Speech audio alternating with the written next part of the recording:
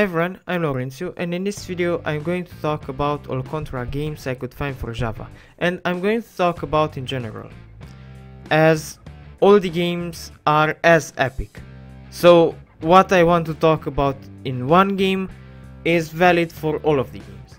So Contra on Java is in most of the games the untouched experience you usually get when playing Contra. Sure that on Java they are simplified, some levels were cut out or modified to be fit for a Java phone, but even so, they are marvelous experiences. And playing these games, you can say that you are gaming on Java, and anyone who doesn't believe you should try out Contra on Java, especially the first one, and see what great job the guys that ported the games did on Java. Oh, and from the video caption you will know how many I found and what the games names are. Okay, so two of the games on the list are fan-made. One of them is Chinese. I mean, I presume it's Chinese since the cover art and everything is in Chinese. And maybe the second one, but the first one, Contra Planet Force, is Chinese. Even the cover art is Chinese, as I said. And for the other one, Contra Retribution, I don't know the origin of that game. But it doesn't matter which game you choose. Either you choose one that was ported from another console or one that was made for Java.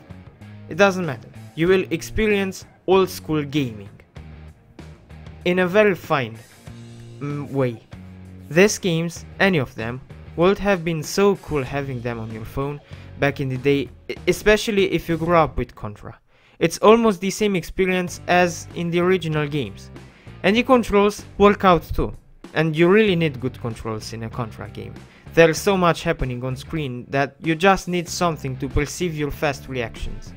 And even if old phones have smaller screens, you can still see what's happening. The tiny screen doesn't hinder your experience. But be aware that if you don't like challenging games, then you shouldn't play Contra. The games are tough. Okay, not the one you see now in the video. The Contra 2012. But the other ones are tough. The other ones that are similar to the console experience. Those are tough. Epic, but tough. But even if even if they are hard and could cause frustrations, if you're sensible, it's worth trying them. It's worth trying to master the games, as the experience is badass. Okay, so this was the video. If you liked it, please hit the like button and subscribe. And if you want, follow me on Twitch, Instagram or Discord. I left the links to those in the video description. Also, if you want to see another video of mine, just wait till I stop talking and there will be thumbnails of other videos I've made. Thanks for watching.